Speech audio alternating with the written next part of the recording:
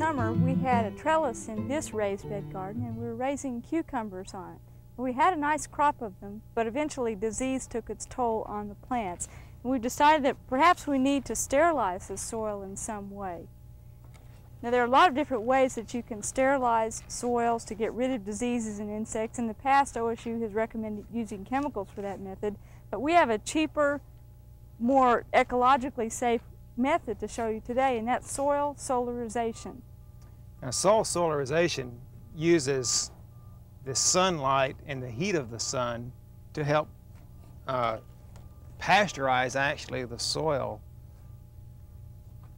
and we can raise the soil temperature anywhere from about 96 to 126 degrees depending on how long we leave our cover over our bed.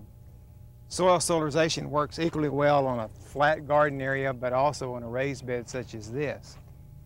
And research has shown that it will kill nematodes, it will kill some weed seeds, and it will kill verticillium and fusarium wilt diseases that can be found in our soil. So it's really a very beneficial method. The trick is though to do it during the heat of summer, someplace in full sun.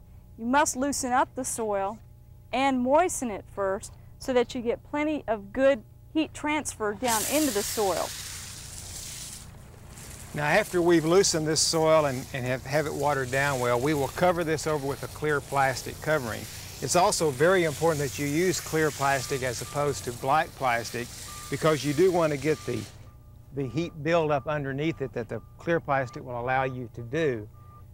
You want to use probably as thin of a plastic material as you can. A plastic material that's four mils thick or less not only works better, but it's also more economical to use. One of the secrets to successful soil solarization is to be sure that the plastic is sealed tightly around the area that you're trying to solarize. On a windy day, you may only want to unroll a little bit of your plastic at a time and keep it weighted down with boards or with brick until you can seal it around the area with soil if you're in your ground bed or staple it as Sue is being do here on our raised bed.